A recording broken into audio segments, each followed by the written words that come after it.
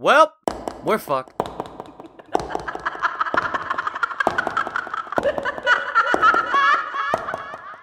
eh, this should be entertaining.